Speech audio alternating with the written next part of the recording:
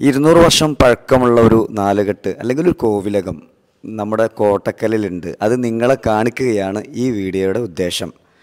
നമ്മുടെയൊക്കെ കൊട്ടക്കലിലെ അനിലേട്ടന്റെ പിന്നെ ഒരു പ്രോപ്പർട്ടിയാണ്. ഇവിടെ ഇങ്ങനെ ഒരു ഒരു പ്രോപ്പർട്ടി ഉണ്ടായിരുന്നു. അത് റിനോവേറ്റ് ചെയ്ത്. എന്നാൽ അതിന്റേതായ ആ പഴമ ഒട്ടും ചോരാതെ മനോഹരമാക്കി റിനോവേറ്റ് ചെയ്ത് ഇപ്പോൾ ആളുകൾക്ക് താമസിക്കുന്ന ഒരുപാട് ആളുകളാണ് ഇവിടെ വന്ന് താമസിക്കുന്നത്. കാരണം ഇതിന്റെ ഒരു ആംബിയൻസും ഇതിന്റെ സൈലൻസും കൊട്ടക്കൽ എന്ന വലിയ പട്ടണത്തിന്റെ ഇടയിൽ വളരെ കാമാൻ കോയറ്റായിട്ടുള്ള ഒരു ഒരു പ്രോപ്പർട്ടിയാണിത് മലബാർ കോവിലകത്തിന്റെ വിശേഷങ്ങളിലേക്കാണ് എല്ലാവരെയും സ്വാഗതം ചെയ്യുന്നത്. അപ്പോൾ അല്ലേട്ടാ സന്തോഷം. വെൽക്കം വെൽക്കം കാരണം എന്താ പറയുക അല്ലേട്ടൻ നമ്മുടെ എത്രയോ വർഷങ്ങൾക്ക് മുന്നേ ഉപ്പാനായിട്ടൊക്കെ ബന്ധമുള്ള ആളുകളാണ്. അതിലുപരി ബിസിനസ്സിനോടൊപ്പം നമ്മളൊക്കെ ഒരു വിഷയം പറയുമ്പോണ്ടല്ലോ ഈ ചാരിറ്റി രംഗത്തൊക്കെ പ്രവർത്തിക്കുന്നതുകൊണ്ട് അതിനൊക്കെ ഒരുപാട് സഹായിക്കുന്ന ആളുകളാണ്. അപ്പോൾ സ്വാഭാവികമായിട്ടും പിന്നെ അദ്ദേഹത്തെ നമുക്ക് ഒരുപാട് ഇഷ്ടമാണ് ഒപ്പം വിദേശ രാജ്യത്തൊക്കെ ഒരുപാട് സംരംഭങ്ങളുണ്ട് പ്രത്യേകിച്ചും നമ്മുടെ ഗാലക്സിയിലെ ഏഹ് അതല്ലേ ലേറ്റസ്റ്റ് ദുബായിൽ ഗാലക്സി കുവൈറ്റിൽ വേറെ കമ്പനി കമ്പനികളുണ്ട്. പക്ഷേ അതല്ല അല്ലേട്ടാ ഇവിടെ നമ്മുടെ കോട്ടക്കലിൽ ഇത്ര മനോഹരമായിട്ടുള്ള ഒരു എന്താ പറയാ ഇതിനെങ്ങനെ പേര് വിളിക്കുക ഏ? അല്ലെങ്കിൽ പിന്നെ ഒരു അതുകൊണ്ടാണ് കോവിലകം പഴയ കോവിലകം. അതാണ് കോവിലകം. ആ എങ്ങനെ ഇതിന്റെ ബ്രെയിൻ നിങ്ങളാണെന്ന് എനിക്ക് മനസ്സിലായി. അതുകൊണ്ട് തന്നെയാണ് എന്റെ പ്രേക്ഷകർക്ക് ഇവിടെ എല്ലാവരും ഇതിനെ കുറിച്ച് അറിയണം ശരിക്ക്. ഒരുപാട് ആളുകൾ വന്ന് താമസിക്കുന്നു.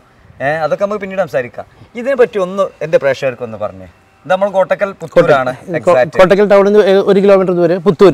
ബൈപ്പാസ് ഒരു ഇരുന്നൂറ് മീറ്റർ അകത്തോട്ട് കയറിയിട്ടാണ് അതെ അതെ. ഒരു തിരക്കുമില്ല. ഒരു തിരക്കുമില്ല. കാമൻ മരങ്ങളൊക്കെ അതേപടി അതായത് ഒന്നും നമ്മൾ വെട്ടിയിട്ടില്ല ഒന്നുമില്ല. എല്ലാം അതുപോലെ മെയിന്റെയിൻ ചെയ്തു. പക്ഷേ പ്രേക്ഷകർക്ക് അറിയേണ്ടത് എന്താണ് ഇവിടെ? എന്താ ആക്ച്വലി ഒന്ന് പറഞ്ഞു കൊടുക്കുക ഇത് ഒരു ഇരുന്നൂറ് വർഷത്തോളം പഴക്കമുള്ള ഒരു ഹെറിറ്റേജ് ബിൽഡിംഗ് ആയിരുന്നു. ഒരു പഴയ പഴയ നാലുകെട്ടായിരുന്നു. അത് നമ്മൾ വാങ്ങി റിനോവേറ്റ് ചെയ്ത് നമ്മൾ ആ പഴമ ഒട്ടും മാറ്റാതെ അതേ രീതിയിൽ തന്നെ മെയിന്റെയിൻ ചെയ്തു. എന്റെ ടൈൽസ് ആയാൽ നമ്മൾ ഹാൻഡ് മെയ്ഡ് ടൈൽസ് ആണ് വുഡ് ആണെങ്കിൽ ടീക്കും റോസ് വുഡും മാത്രമേ ഉള്ളൂ. പിന്നെ വയറിംഗ് ആണെങ്കിൽ അത് നിങ്ങൾ കണ്ടറിയാം. പഴയ സിംഗിൾ കോഡ് വയറിംഗ് ആണ്. ആ പഴയ സ്വിച്ച് ഉണ്ടല്ലോ. ആ സ്വിച്ചും വയറും അതാണ്. എല്ലാം ഒരു നൂറ് വർഷം മുമ്പേ ഉള്ള ഒരു വീട്ടിൽ പോയാൽ എങ്ങനെ ആ ഫീലാണ് ഈ വീട്ടിൽ ഇതിൽ കയറി കഴിഞ്ഞാൽ ഓരോ റൂമിലും ഓരോ സ്ഥലത്തും. പിന്നെ അകത്ത് നാല് നാലുകെട്ടുണ്ട് മഴ പെയ്യുമ്പോൾ നമുക്ക് മഴ ഉള്ളിൽ തന്നെ കാണാം. ഡൈനിങ് ഹാളിനകത്ത് അതുണ്ട്. പിന്നെ ബാത്റൂം മാത്രം നമ്മൾ മോഡേണൈസ് ചെയ്തു. ഏറ്റവും ലേറ്റസ്റ്റ് ആക്കി. ബാക്കി എല്ലാ പഴം അതുപോലെ നിലനിർത്തിയിട്ടാണ് ചെയ്തിട്ടുള്ളത്. പിന്നെ പ്ലാസ്റ്ററിങ് മഡ് പ്ലാസ്റ്ററിങ് ആണ്. ചുമര് അതുകൊണ്ട് ഭയങ്കര കൂളിംഗ് ആണ്. റൂമിനകത്ത് ഭയങ്കര കൂളാണ് അപ്പോൾ ഇതൊക്കെയാണ് ഇതിന്റെ ഒരു ബേസിക് കാര്യങ്ങൾ കാര്യങ്ങൾ പിന്നെ പൊതുവെ ചില ഞാൻ ഒരുപാട് റിസോർട്ടുകൾ അല്ലെങ്കിൽ ഇത് നാലുകെട്ടൊക്കെ ഇപ്പോൾ നമ്മൾ പിന്നെ ഇങ്ങനത്തെ സംഭവങ്ങളൊക്കെ ചെയ്തിട്ടുണ്ട്. പക്ഷെ ഇത് പുറത്തുനിന്ന് നോക്കുമ്പോൾ ചിലപ്പോൾ അതുണ്ടാവും. അകത്ത് പൊതുവെ മെയിന്റെയിൻ ചെയ്യൽ പ്രയാസമായിരിക്കും പക്ഷെ നിങ്ങൾ ഇന്റീരിയർ എക്സ്റ്റീരിയർ സെയിം ആ സംവിധാനം പഴയ പഴമ നിലനിർത്തിയിട്ടാണ് ഈ ഒരു കൺസ്ട്രക്ഷൻ ഉള്ളത്. അത് കോംപ്രമൈസ് ഇല്ല. ഒരു കോംപ്രമൈസ് ഇല്ല. അന്ന് പത്തിരുപത്തഞ്ച് സ്റ്റാഫ് ഇവിടെ സ്ഥിരമായിട്ടുള്ള അതുകൊണ്ടാണ്. അത്രയും സ്റ്റാഫിനെ വെച്ച് മെയിന്റെയിൻ ചെയ്യുന്നതുകൊണ്ട് ആ ഒരു ക്വാളിറ്റി കോംപ്രമൈസ് ചെയ്യാതിരിക്കണം. ഹോസ്പിറ്റാലിറ്റി നമുക്ക് മഞ്ചേരി പ്രോപ്പർട്ടി ഉണ്ട്. അവിടെയും സെയിം ആണ്.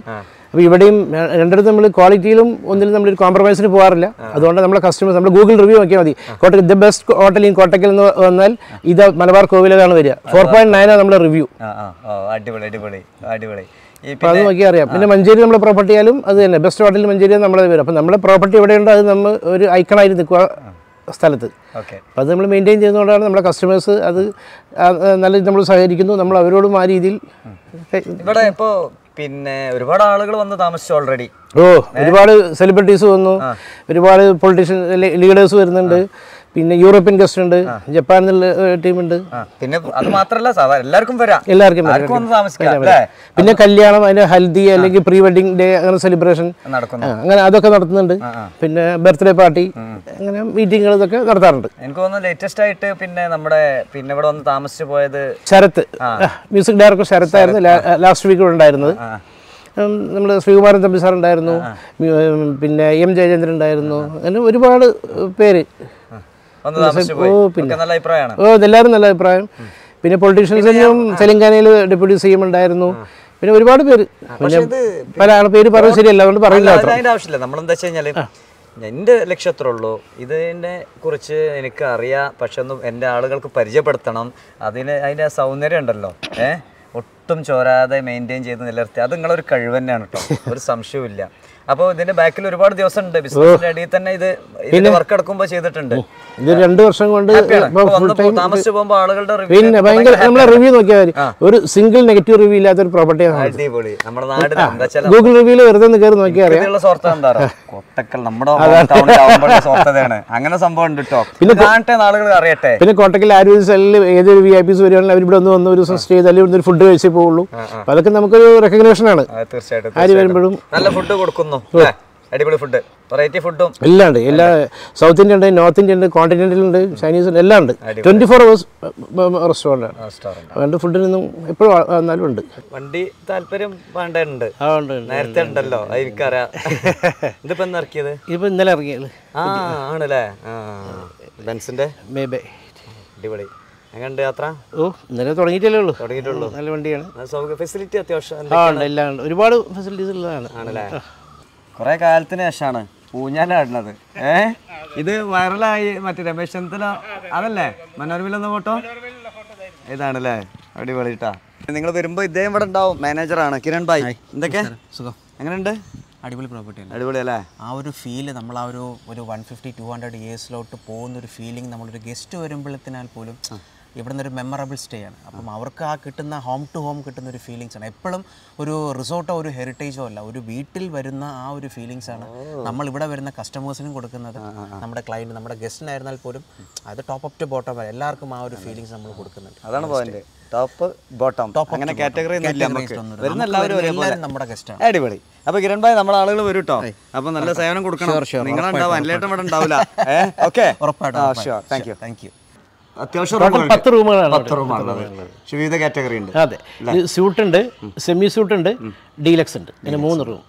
ഓക്കെ. അപ്പോൾ ഏതായാലും നമ്മൾ വീഡിയോ അവസാനിപ്പിക്കാം ഓക്കെ. നിങ്ങൾ നമ്മുടെ നാട്ടിൽ അവനാന്റെ ഹോം ടൗണിൽ സംരംഭം തുടങ്ങിയല്ലേ അപ്പോൾ നിങ്ങൾ പിന്നെ ഇങ്ങനെ ഇത്തരം ഇതിൽ ആഗ്രഹിക്കുന്ന ആളുകൾക്ക് താമസിക്കാൻ നമ്മൾ ഇതിൽ നമ്പർ കൊടുക്കുന്നുണ്ട്. പിന്നെ നിങ്ങൾക്ക് അഭിപ്രായം രേഖപ്പെടുത്താം. വീഡിയോ മാക്സിമം ഷെയർ ചെയ്തോളൂ.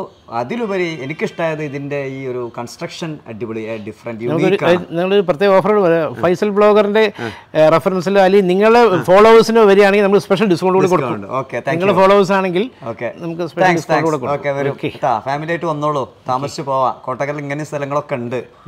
ഫുഡും ഉണ്ട് താമസം എല്ലാം ഉണ്ട്. എല്ലാം ഉണ്ട്. താമസം മാത്രമല്ല റെസ്റ്റോറന്റും ഉണ്ട്. ഓക്കെ അടിപൊളി.